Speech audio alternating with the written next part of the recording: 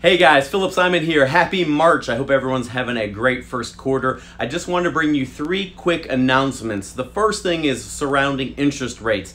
If you have not seen the sub three interest rates that are out there and you haven't thought about refinancing or possibly refinancing, reach out to me. Let me know. I'm more than happy to talk about it and share with you a couple of vendors that may be able to help you out with that refi.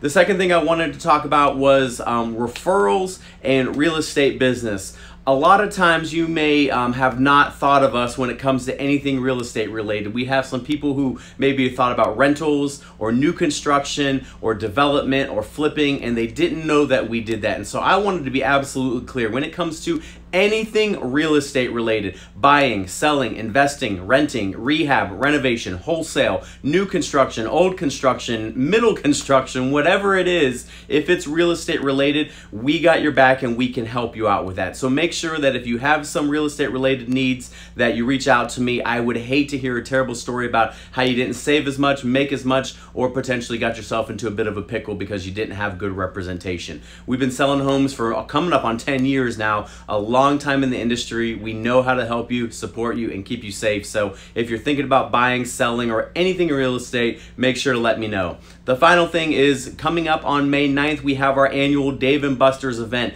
huge client appreciation event where we're also going to be launching a little bit about Carried to Full Term. Uh, it's a charity that we support and we're going to be doing some fundraising for them. But the day of Dave & Buster's is just a huge fun day for you as clients. We want to be able to give back and say thank you. So make sure you start to mark your calendars May 9th for Dave & Buster's. Other than that, I hope you guys have a great day. Take care and God bless.